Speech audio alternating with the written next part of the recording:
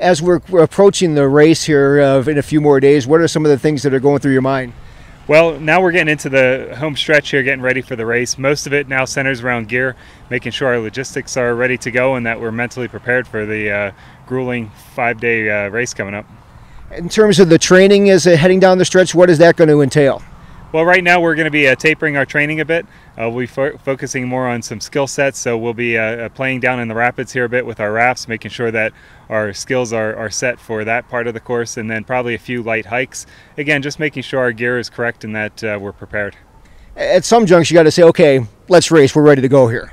Yeah, I'm ready to go right now. I'm really excited. This is going to be a fun race. We're going to be through some beautiful countryside, and you know, it's almost a year of preparation for this. So there's a lot of excitement building, and just can't wait to see all the other teams here in town. And hopefully, we have a, a fun, great race.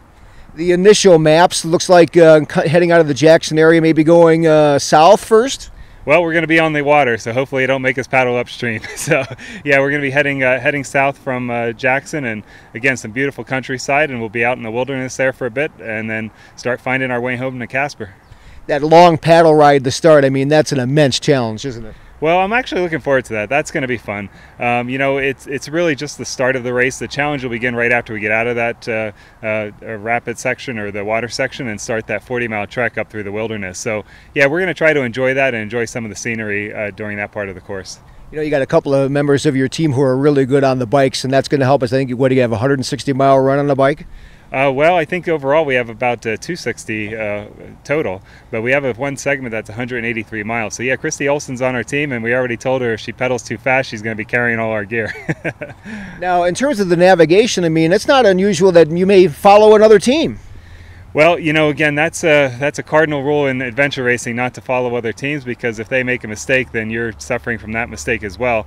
Um, you know, once we get spread out, we'll probably uh, rarely see teams on the course. Uh, it will probably be alone for a lot of the race, uh, which is fun. That's part of part of adventure racing and, and part of the excitement. But yeah, we'll occasionally cross other teams, but for the most part, the rule of adventure racing is don't follow. You know, I was talking to Adam and Ryan of your team, and uh, nutrition and hydration are enormous factors in this. Yeah, that's a big challenge. This is a, a, race of attrition and making sure that you're hydrated, making sure that you're eating, even when you don't feel like eating or, or when you're not feeling well.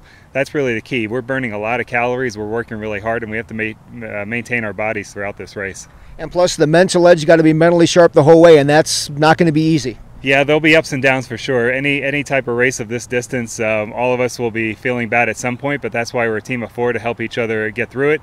Um, you know, the key is just make sure you watch out for your teammates and, and, recognize when they're when they're down and not doing well, and make sure that you can uh, prop them back up and get them through the race.